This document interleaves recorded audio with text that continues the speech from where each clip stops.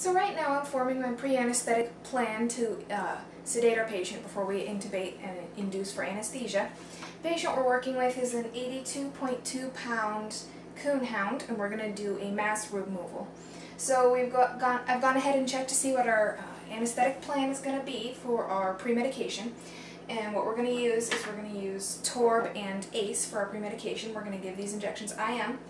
The dosage we're going to do is what we're going to calculate, um, and the doctor has prescribed to do it half strength on the ACE and full strength on the TORB. So we'll calculate the dose and then I'll half the ACE for what we're going to actually give. So I'm going to start by just getting our anesthesia chart ready here. I'm going to fill out all our patient information. I have the record right here and I've just verified that a physical exam has been done on this patient. Everything came back normal. We have notes on the masses on what's going to be removed. We have a mass on the left shoulder that's about 3 inches by 3 inches, and it's the lipoma. And then just above that lipoma is a draining cyst, which is about 1.4 inches by 1.4 inches. Both of those are being removed. We also have run a pre-anesthetic blood work, a CBC, and a chemistry panel. Both of those were all within normal limits, and nothing concerning on the blood work. So our patient information the name of the patient is Brandy. Brandy is a coonhound. And 11 years old. She's a spayed female and a canine.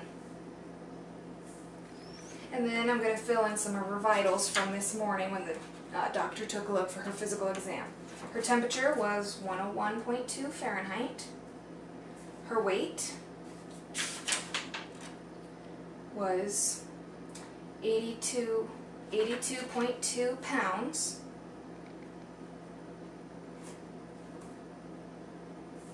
And then for kilograms, I'm going to take what it is in pounds, 82.2, and divide that by 2.2. So in kilograms, she's 37.36.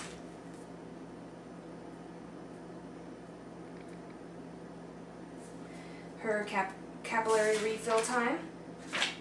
It's about one. Heart rate and respiratory rate were all within normal limits. We'll continue to take a heart rate and respiratory rate as we induce and pre-medicate, so we will fill that out on here as we go along for our numbers and records. Alright, so I'm going to go ahead and put our pre-medication plan on here. We're doing full torb and half ACE. Okay, so now I'm going to calculate our volume. Both of these are going to be going IM, and then I will mark the time when we give these. So for our ACE, our ACE is going to be, we're doing 0.02 mgs per kg. So I'll start a blank sheet here to work on. We're doing 0.02 mgs per kg. And our strength of our drug right here is 1 mg per mil.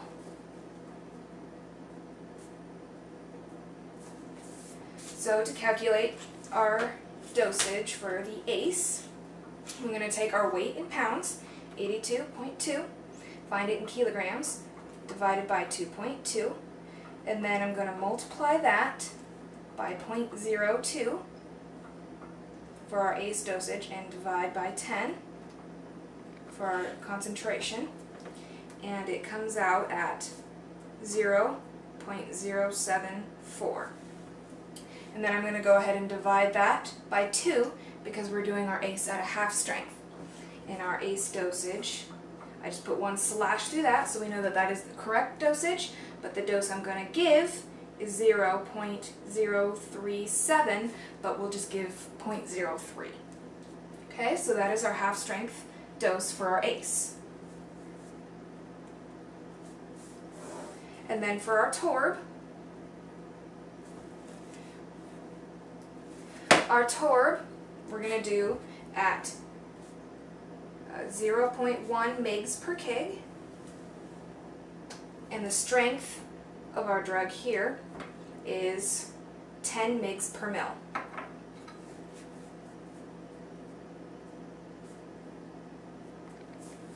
So again, I'm going to take the weight of my patient, which is 82.2. Find it in kilograms, so divided by 2.2. And then from there, I'm going to multiply by 0.1 for our um, drug dosage, and then divide that by 10 for our strength, and the torb dose is 0.37. And this, the torb we are doing at full strength, so we will give that amount. Okay, so those are our drug calculations. Our ACE is going to be 0.03 at half strength, and then a full strength to torb is 0.37. So I'm going to run through these calculations one more time. I've got a uh, mentor looking over my shoulder, making sure we're getting these calculations correct. And I just want to verify, double check my math here. I'm using a calculator for all of these. I'm never doing drug calculations just in my head. I'm always making sure I'm writing down the numbers, checking it with a calculator, double checking, and having another technician or another doctor verify my numbers as we go to prevent any miscalculations or misadministrations of the drug dose. Okay, so my ACE at 0.02 mg per kg at 1 mg per ml. My patient weighs 82.2 pounds. 82.2 divided by 2.2 times 0.02 divided by 10 is 0.074 for my full strength ACE. We're doing a half dose, so divide that by 2. 0.03 is my half dose of ACE. Okay, so that is a double check confirmed, and that is 0.03 mils. Okay, I'm going to double check my torb calculations. 0.1 mgs per mil, or mgs per kg, excuse me, 0.1 mgs per kg at a strength of 10 mgs per mil. My patient weighs 82.2 pounds divided by 2.2 for, for. And then I'm going to multiply that by 0.1 and divide that by 10. And my torb dose is 0.37 mils. Okay, so I've confirmed and double checked that calculation. So I'm going to take these numbers, this is just my worksheet, and I'm going to put them onto my anesthetic chart here for my records. So full torb, 0.37 mils going IM half ace. I'm going to go ahead and write down the full ace, which was 0.07.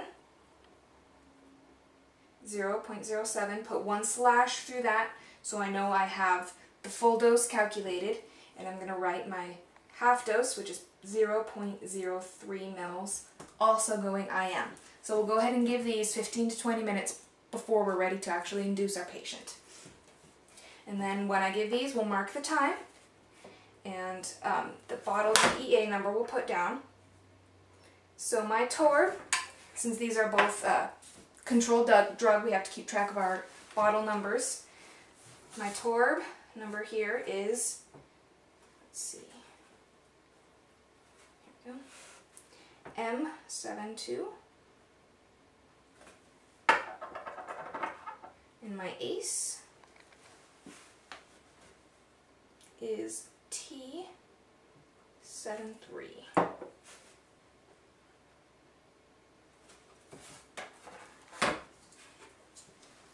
Alright, and then I will get a syringe to draw up my doses.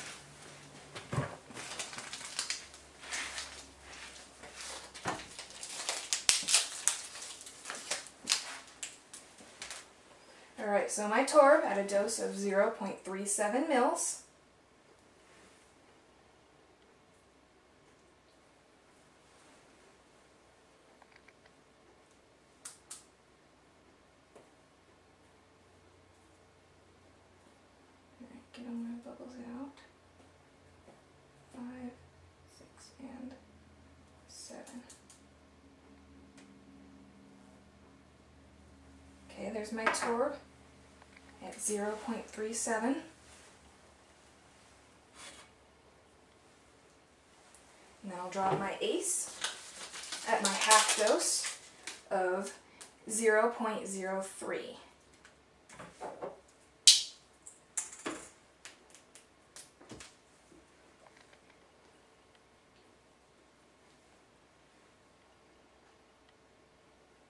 This is a small quantity. 0 0.03. One, two, and three.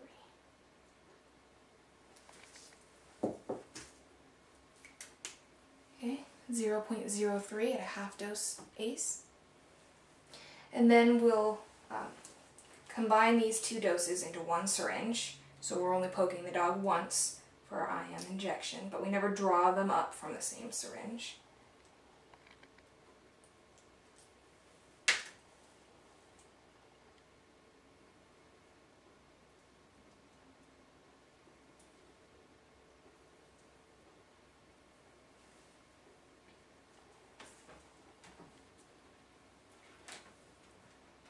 Okay, and then we'll change our needle and we have our pre-anesthetic medication ready to give to our patient. We're going to give this IM and we can go ahead and do this now so I will mark down the time for both of these injections. And then we can go ahead and give our pre-anesthetic uh, medication and then we can monitor our patient for the next 15 or 20 minutes and then we'll be ready for our, our intubation and anesthetic procedure.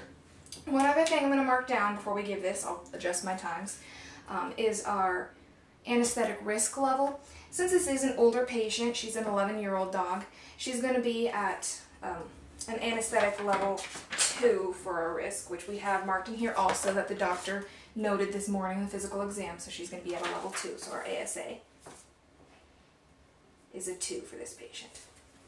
Okay, and then I'll adjust my pre-medication time.